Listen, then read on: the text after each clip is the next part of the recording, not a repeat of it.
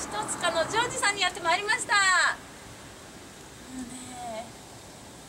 神奈川は朝がですね早いんですよ。でもそれだけ長く打てるということで今回も頑張っていきたいと思います。それでは設定抽選いってきます。ということで早速設定の抽選に行きたいと思います。お願いしますどれにしようかなどれにしようかな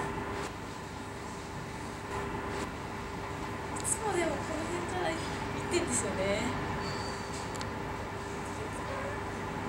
これ。これにします今日。あどうしよう。まだ1引いてないんですよ。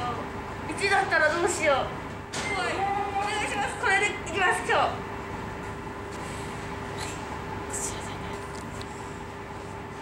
そして続きまして担当編集さんの設定です。